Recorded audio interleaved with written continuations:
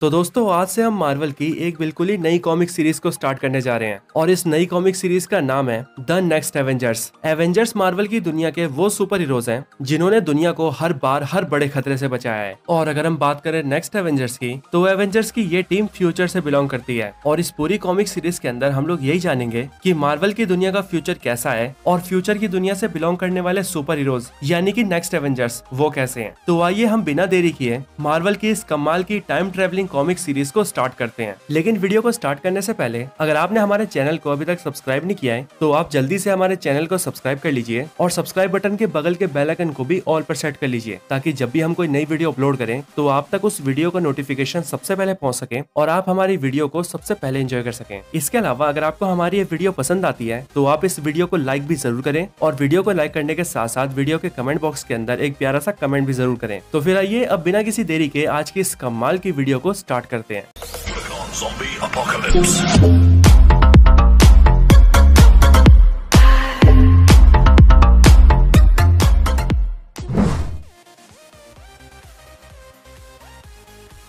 तो इस कहानी की शुरुआत होती है आज से कई साल फ्यूचर में, जहाँ पर हम ये देखते हैं कि यह काली अंधेरी रात के अंदर बहुत जोरों की बारिश हो रही थी और उसी बारिश में एक आदमी ज़मीन पर बैठा हुआ था और वो चिल्लाते हुए अपने सामने खड़े कुछ लोगों से कह रहा था, क्या तुम जानते भी हो मैं कौन हूँ? और तुम्हें जरा भी अंदाज़ा है कि तुमने क्या किया है? मैं इमोटस हूँ लॉर्ड इमोटस इस पूरे टाइम का मास्टर मैं तुम्हारे जन्म से पहले से हूँ और तुम जब मर जाओगे, मैं उसके बाद भी एग्जिस्ट करूँगा। मैंने तुम सबकी लाइफ देखी है। और सिर्फ़ तुम सब की नहीं, मैंने बहुतों की लाइफ देखी है। और यही सब देखकर मैंने इतने साल बिताए हैं। पर आज आज जो तुम सबने यहाँ पर किया है, उसके लिए मैं तुम्हें जान से मार दूँगा। मैं तुम सबको मिटा दूँगा। तुम में से हर एक मारा जाएगा। लेकिन फिर वो आदमी इसके आगे कुछ बोल पाता कि उससे पहले ही उसके ऊपर एक जोरदार लाइटनिंग अटैक होता है और उस अटैक की वजह से वो वहीं पर बेहोश हो जाता है। और फिर उस आदमी के सामने हम पाँच बच्चों को देखते हैं और उन्हें देखकर हमें पता लगता है कि वो पाँचों और कोई नहीं, बल्कि एवेंजर्स के बच्चे हैं। और इन सब के सामने जो शख्स है, जो अपने आप को लॉर्ड इमोटस बता रहा था, वो और कोई नहीं, बल्कि गैंग द कॉन्करर है।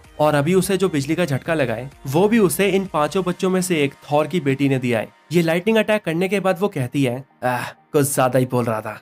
पर उसकी बात खत्म होते ही ब्लैक पैंथर का बेटा बोलता है, अबे, ये क्या किया? सुनने तो देते, बोल क्या रहा था? क्या यार, तुम लोग भी बहुत जल्दी में रहते हो। लेकिन फिर तभी कैप्टन अमेरिका का बेटा बोलता है, क्या तुम सही में उसकी बातों पर ध्यान दे रहे थे? क्योंकि सच बताऊँ तो मैं तो उसकी बातों को सुन भी नहीं रहा था। और फिर जब इन सब की बातें खत्म होती है, तभी इस फ्यूचर सीन के बाद हमें सीधा प्रेजेंट टाइम दिखाया जाता है। और प्रेजेंट टाइम में हम कैप्टन स्टीव रॉजर्स को देखते हैं, जिन्होंने अभी अभी द सीज के इवेंट्स के बाद एवेंजर्स की एक नई टीम को फॉर्म किया था। मैं आप सभी को बता दूँ कि ये इवेंट मार्वल कॉमिक्स के द सीज इवेंट्स के बाद का है, और इसीलिए यहाँ पर एवेंजर्स की एक नई टीम बनाई गई है, जो की द सीज इवेंट के अंदर टूट गई थी। इस नई एवेंजर्स टीम के अंदर कई सारे मेंबर्स होते हैं। जैसे कि captain Steve Rogers Iron Man Iron Fist Spider Man Wolverine Thor Spider Woman Hawkeye और भी बहुत सारे सुपर हीरोज इसके एक दिन बाद एवेंजर्स की ये नई टीम सीधा शिकागो सिटी के अंदर पहुँचती है, जहाँ पर वो सभी मिलकर एक डिस्ट्रॉय हुई बिल्डिंग को रिकवर कर रहे होते हैं। और कैप्टन स्टीव रॉजर्स वहाँ पर खड़े होकर सभी एवेंजर्स को कोऑर्डिनेट कर रहे होते हैं। पर तभी कैप्टन के पास वंडरमैन आता है। जो कि कैप्टन से कहता है, कैप्टन, मैंने आपको पहले भी समझाया था और अब भी समझा रहा हूँ। आपका एवेंजर्स को फिर से जोड़ने का आइडिया बिल्कुल बेकार है।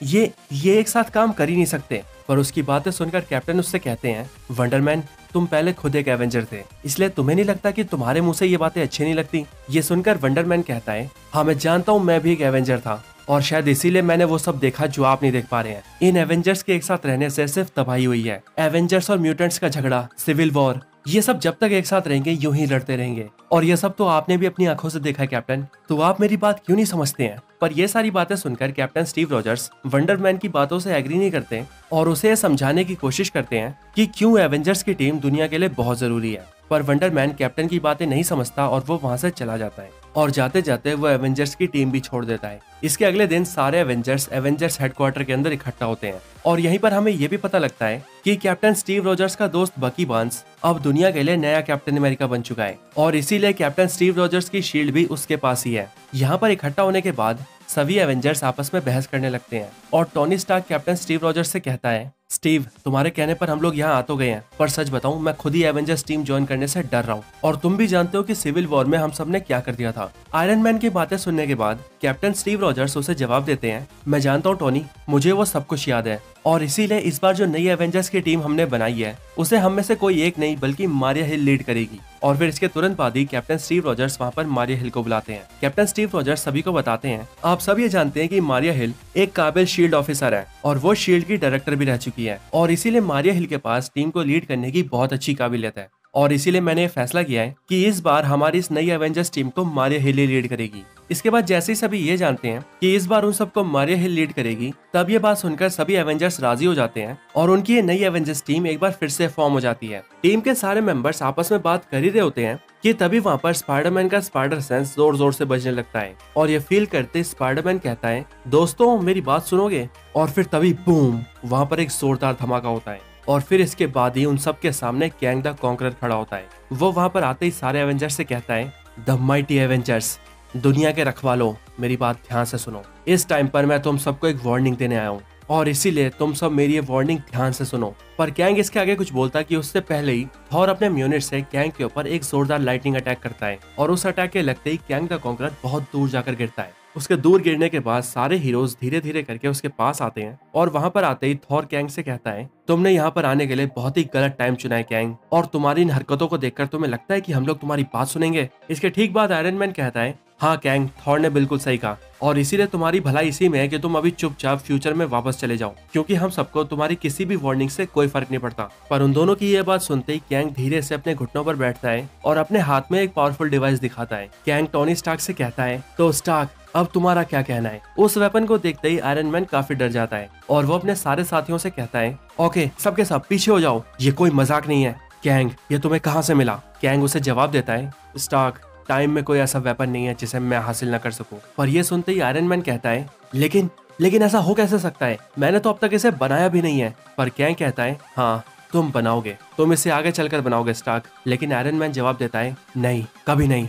मैं इसे कभी नहीं बनाऊँगा। ये सब सुनकर थॉर आयरन मैन से पूछता है टॉनी ये सब क्या है? क्या चीज़ है ये? आयरन मैन उन सबको बताता है, ये डोम्सडे डिवाइस है। एक ऐसा डिवाइस जो एक बार में पूरे शहर को उड़ा दे। ये एक डार्क मैटर एक्सेलरेटर है, जो कि सिर्फ़ डिस्ट्रक्शन कर सकता है। ये सब सुनते ही स्पाइडर वुमेन कहती है, लेकिन तुमने ये बनाया है क्यों टोनी आयरन मैन जवाब देता है, मैंने नहीं बनाया। मैंने तो बस इस चीज़ के बारे में सोचा था, और इसके तरीके को एक पेज पर लिखा था, पर इसे कभी बनाया नहीं। अरे बल्कि मैंने तो ये भी फैसला किया था कि मैं आपसे इस चीज़ के बारे में सोचूँगा भी नहीं। बनाना तो बहुत दूर की बात है। ये सब सुनने के बाद कैप्टन स्टीव रॉजर्स कैंग से कहते हैं कैंग क्या चाहते हो तुम? तुम यहाँ पर क्यों आयो कैंग जवाब देता है, मैं यहाँ तुम सबको वार्निंग देने आया हूँ। मुझे तुम सबको फ्यूचर के बारे में बताना है। फ्यूचर की वो बातें जो तुम्हारे लिए जानना बहुत ज़रूरी है। ये बात तुम सबके बच्चों के बारे में है। फ्यूचर खतरे में है। पूरी की पूरी रियलिटी खत्म हो जाएगी। और इन सब के जिम्मेदार सिर्फ़ तुम्हारे बच्चे होंगे। वही नेक्स्ट एवेंजर्स और फिर ये सब बोलने के बाद ही कैंग द कॉन्करर उन सभी को वहाँ पर फ्यूचर की विजुअल्स दिखाता है। वो विजुअल्स दिखाते हुए कैंग उन सबसे कहता है, ये फ्यूचर की दुनिया है। वो दुनिया जिसमें तुम्हारे बच्चे रहते हैं। लेकिन देखो इस दुनिया को,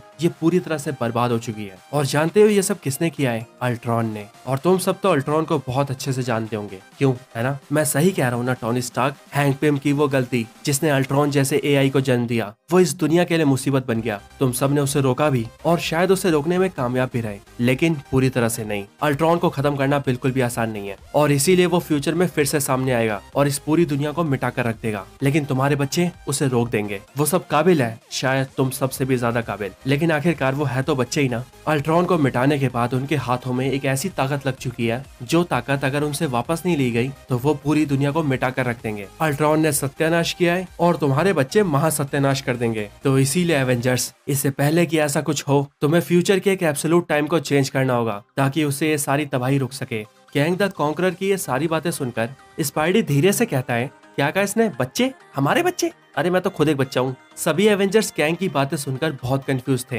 क्योंकि ज़ाहिर है फ्यूचर और फ्यूचर में होने वाली चीज़ों के बारे में समझना हर किसी के बस की बात नहीं है। और आखिर एवेंजर्स अपने बच्चों वाली बात पर भरोसा कर भी कैसे सकते थे? आखिरकार रियल लाइफ में उनके बच्चे थे ही कहाँ? वो सब तो फ्यूचर में होने वाला था, और फ्यूचर के बारे में उनमें से किसी को पता नहीं था। इसके बाद हॉकाई कैंग से कहता है अच्छा अगर चलो मान भी लिया कि तुम जो भी बोल रहे हो वो सही बोल रहे हो तो फिर तुम खुद जाकर अल्ट्रॉन को खत्म क्यों नहीं कर देते? ना रहेगा बाँस, ना बजेगी बांसुरी।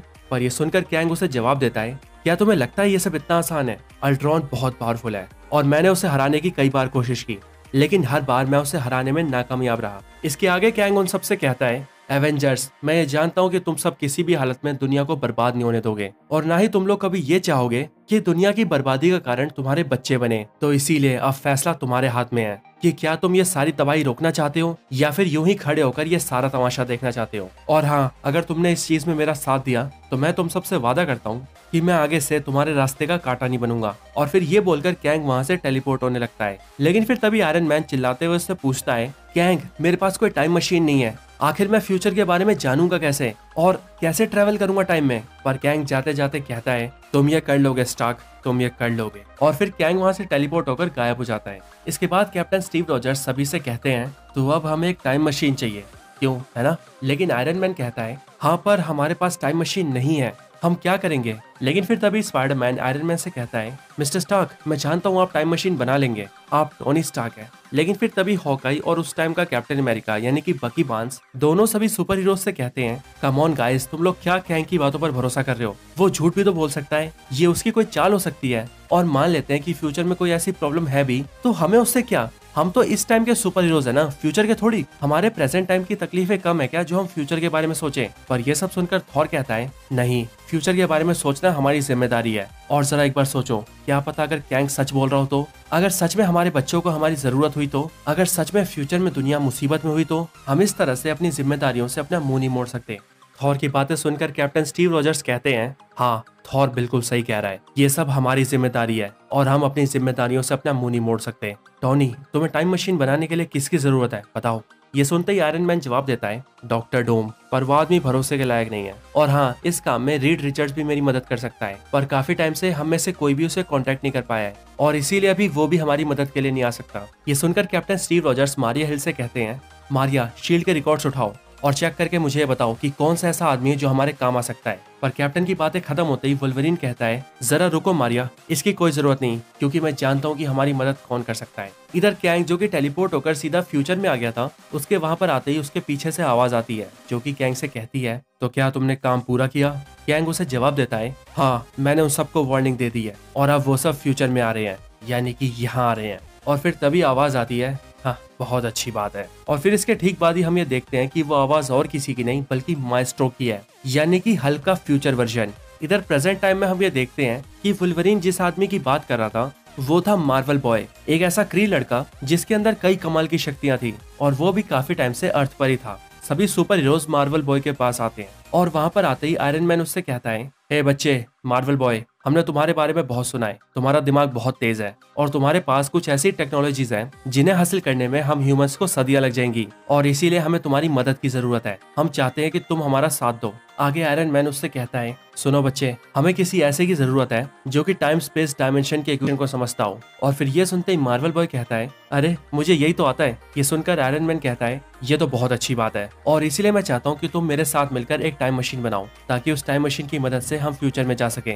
इसके अगले दिन न्यूयॉर्क सिटी के एवेंजर्स हेडक्वार्टर के अंदर हम ये देखते हैं कि टोनी स्टार्क मार्वल बॉय के साथ मिलकर टाइम मशीन के ऊपर काम करना स्टार्ट कर चुका था। और जो सुपर हीरोज उनका साथ देना चाहते थे, वो इस काम में उनका साथ भी दे रहे थे, जैसे की थॉर और स्पाइडरमैन पर लगता है इस टाइम पर वो सभी टाइम मशीन नहीं बना रहे हैं, बल्कि वो एक ऐसे डिवाइस को बना रहे हैं, जिससे कि फ्यूचर में होने वाली पॉसिबिलिटीज को देखा जा सकता है। कुछ टाइम बाद ही उनका वो डिवाइस तैयार था। और डिवाइस के तैयार होते ही वो लोग उसे एक्टिवेट करते हैं, जिसके बाद ही उन सब के सामने कई सारे विजुअल्स दिखते हैं। ये सारे विजुअल्स फ्यूचर से थे और अपने डिवाइस को हाथ में लेकर मार्वल बॉय सभी को वो विजुअल्स दिखाता है और कहता है, ये सारी वो पॉसिबिलिटीज है जो कि फ्यूचर में हो सकती है। पर ये सुनते ही होकाई कहता है, अरे तो इनमें से हमारा फ्यूचर कौन सा है? मार्वल बॉय जवाब देता है, इनमें से कोई भी हो सकता है। टाइम का कॉन्सेप्ट बहुत अलग है और इसीलिए ये ज़रूरी नहीं कि तुम सबका फ्यूचर कांस्टेंट हो, वो बदल भी सकता है। और इसीलिए ये सब वो कुछ पॉसिबिलिटीज है, जो तुम सबका फ्यूचर बन सकती है। इसके बाद ही उन्हीं विजुअल्स के अंदर एवेंजर्स उनमें अपने बच्चों को भी देखते हैं और उन्हें पता लगता है कि उन्हीं की तरह उनके बच्चे भी फ्यूचर में चलकर एक एवेंजर्स टीम को फॉर्म करेंगे, जिसका नाम पड़ेगा नेक्स्ट एवेंजर्स उन सबको देखकर कैप्टन स्टीव रोजर्स कहते हैं, क्या ये हमारे बच्चे हैं? तभी थॉर कहता है, जरा ये देखो। ये तो लॉर्ड इमोटस है। गैंग का एक वेरिएंट थॉर की बात सुनकर टोनिस्टा कहता है हाँ थॉर, तुमने बिल्कुल ठीक कहा। ये तो कैंग है। इसे हमारे बच्चों ने हरा दिया। उन सभी बच्चों ने मिलकर कैंग को बहुत बुरी तरह से मारा था। और इसीलिए उन सबको ऐसे देखकर सभी हीरोज हैरान हो गए थे कि आखिर उनके बच्चे इतने ब्रूटल कैसे हो सकते हैं। वो सभी ये सोचने लगे कि शायद कैंग ने आकर उन्हें जो वार्निंग दी थी, वो उसने उन सबसे बिल्कुल ठीक कहा था। वो सभी उन सारी टाइमलाइंस की पॉसिबिलिटीज को देख रहे थे, लेकिन फिर तभी अचानक से वो सारे टाइमलाइंस शैटर हो जाते हैं और एक एक करके टाइमलाइंस टूटने लगती हैं और फिर इसके बाद ही वो डिवाइस बंद हो जाता है, जिसके बाद उनके सामने के सारे विजुअल्स हट जाते हैं। ये देखकर टोनी स्टार्क मार्वल बॉय से कहता है, ये क्या था? क्या ये डिवाइस टूट गया है? पर मार्वल बॉय टोनिस्टा को जवाब देता है, नहीं, ये डिवाइस नहीं टूटा, बल्कि ये सारी टाइमलाइंस ही टूट गई हैं। सारी टाइमलाइन शेटर हो गई हैं और ये जो भी हुआ है बहुत गलत हुआ है। पर आखिर ये कर कौन सकता है? इसके आगे टोनी स्टार कहता है, ये ज़रूर कैंग ने किया है, पर आखिर वो ये कर क्यों रहा है? लेकिन तभी थॉर कहता है टोनी तुम समझ नहीं रहे हो। ये उस कैंग का प्लान है। ये उसकी कोई नई चाल है। वो इस बार हमारे बच्चों का झांसा देके हमें फंसाना चाहता है। और इसीलिए वो हमसे यूँ फ्यूचर की बातें कर रहा है। ये सुनकर टोनी स्टार कहता है, हो सकता है थॉर तुम्हारी बात बिल्कुल ठीक हो। पर अभी हमारे लिए सबसे ज़रूरी ये है कि जो भी टाइमलाइंस टूट गई है, हमें उन्हें फिर से ठीक करना होगा। क्योंकि शायद तुम सब जानते नहीं हो टाइम लीनियर नहीं होता। जिसका मतलब अगर एक टाइमलाइन में कोई गड़बड़ होगी तो उसका इम्पैक्ट बाकी सारे टाइमलाइंस पर पड़ेगा। इसके बाद ही वहाँ पर एक जोरदार धमाका होता है और सारे हीरोज आसपास गिर जाते हैं। और फिर तभी हम देखते हैं कि ये अटैक और किसी ने नहीं, बल्कि वंडरमैन ने किया है। उसे देखकर सभी हीरोज कहते हैं वंडरमैन ये तुम क्या कर रहे हो? पर वंडरमैन सबसे कहता है, मैंने तुम सबसे कहा था, ये एवेंजर्स टीम का आइडिया बिल्कुल बेकार है, पर उस कैप्टन स्टीव रॉजर्स ने मेरी बात नहीं मानी। इसके बाद ही थॉर वंडरमैन के सामने आता है और फिर उन दोनों के बीच फाइट स्टार्ट हो जाती है। सारे एवेंजर्स एक साथ मिलकर वंडर मैन पर अटैक करने लगते हैं और वंडरमैन अकेले ही उन सबके अटैक्स का जवाब देता है। उसे देखकर थॉर कहता है वंडर मैन तुम जो भी कर रहे हो चुपचाप इसे बंद कर दो, वरना ओडिन की ताड़ी की कसम, तुम्हारा वो हाल करूँगा जो तुमने सोचा भी नहीं होगा। मैं ये भूल जाऊँगा कि तुम भी कभी एवेंजर थे। पर इसके बाद वंडर मैन सभी हीरोज पर हमला कर देता है और सारे हीरोज मिलकर वंडर मैन पर अटैक कर देते हैं और फिर उन सबके टकराने से एक जोरदार धमाका होता है। लेकिन फिर उस धमाके के बाद ही हम ये देखते हैं कि वंडरमैन वहाँ से गायब हो चुका है। सभी हीरोज आपस में पूछते हैं आखिर ये सब क्या चल रहा है? वंडरमैन गायब का हो गया? और उसने हम पर क्यों अटैक किया? लेकिन आयरन मैन उस सबसे कहता है, अभी हमारे लिए सबसे ज़रूरी ये है कि हमें किसी भी तरह से टाइमलाइंस को ठीक करना होगा और मेरा ख्याल है कि हम सबको उसी पर फोकस करना चाहिए। बाकी बातों पर हम बाद में डिस्कस कर लेंगे। अभी टाइम स्ट्रीम ब्रोकन है और किसी भी हाल में उसे ठीक करना बहुत ज़रूरी है। अगर आसान भाषा में कहूँ तो अभी कुछ भी हो सकता है। आयरन मैन इसके आगे कुछ बोलता है कि उससे पहले स्पाइडरमैन का स्पाइडर सेंस ज़ोर से बजने लगता है। और वो सभी हीरो से कहता है गाइस कुछ तो होने वाला है। और फिर तभी उन सबके सामने एक जोरदार सफ़ेद रोशनी चमकती है। और फिर जब वो रोशनी हटती है तो सभी हीरोज ये देखते हैं कि उन सब के सामने एपोक्लिप्स खड़ा है, यानी कि एल सेवन और यहाँ पर वो अपने कई सारे हॉर्समैन के साथ आया है। यहाँ आते एपोक्लिप्स कहता है तो इस बार हम कहाँ आ गए? और ये जगह कौन सी है? तो आखिरकार ये सब हो क्या रहा है? एपोक्लिप्स को भी ये नहीं पता कि वो कहाँ पर है। ऐसा लगता है कि टाइमलाइंस में कोई बहुत बड़ी गड़बड़ी हुई है। पर ये गड़बड़ी क्या है और हमारे हीरोज इसे कैसे ठीक करेंगे, ये सब जानने के लिए आपको इस सीरीज़ का सेकंड पार्ट देखना होगा, जो कि होपफुली आप सभी को कल ही देखने को मिल जाएगा। तो दोस्तों, यही थी video next Avengers comic series के पार्ट वन के ऊपर। आपको ये वीडियो कैसी लगी, मुझे कमेंट्स में ज़रूर बताएँ। और अगर आपका कोई और रिकमेंडेशन हो तो वो भी मुझे कमेंट्स में ज़रूर बताएँ। और जैसा कि मैं वीडियो की स्टार्टिंग में भी बता चुका हूँ कि अगर आप सभी को हमारी ये वीडियो पसंद आती है तो आप इस वीडियो को लाइक ज़रूर करिए और वीडियो को लाइक करने के साथ साथ वीडियो के कमेंट बॉक्स के अंदर कमेंट भी करिए। आपको इस वीडियो के अंदर जो भी बात अच्छी लगी हो या जो भी बात बुरी लगी हो, आप उन सब के बारे में हमें कमेंट्स में बता सकते हैं। आप सभी के कमेंट्स हमारे लिए बहुत मायने रखते हैं। और जब भी आप हमारी वीडियोस को लाइक करते हैं तो उससे हमारा मोटिवेशन भी बढ़ता है। तो इसीलिए आप सभी वीडियो के कमेंट बॉक्स के अंदर कमेंट ज़रूर करिए और इस वीडियो को लाइक करते हुए हमारा मोटिवेशन भी ज़रूर बढ़ाइए। बाकी तब तक के लिए अगर आप लोग हमारे चैनल की ऐसी और भी कमाल की कॉमिक सीरीज़ देखना चाहते हैं तो मैंने कई सारी कॉमिक सीरीज़ के लिंक इस वीडियो के डिस्क्रिप्शन में डाले हुए हैं। अगर आप चाहें तो डायरेक्टली उन सभी लिंक्स के थ्रू या फिर हमारे चैनल में जाकर उन सारी वीडियोस को देख सकते हैं। आई होप वो सारी वीडियोस आपको काफ़ी पसंद आएँगी। तो बस आज की इस वीडियो में इतना ही। इस वीडियो को यहीं पर एंड करते हैं। वीडियो पसंद आई हो तो इसे लाइक करें। दोस्तों के साथ शेयर करना चाहते हैं तो शेयर करें। चैनल को सब्सक्राइब नहीं किया तो सब्सक्राइब भी ज़रूर करें और आप सभी इसी तरह से हँसते और मुस्कुराते रहें। बाकी मैं आप सबसे मिलता हूँ ऐसे किसी और बेहतरीन वीडियो में। तब तक के लिए, गुड बाय।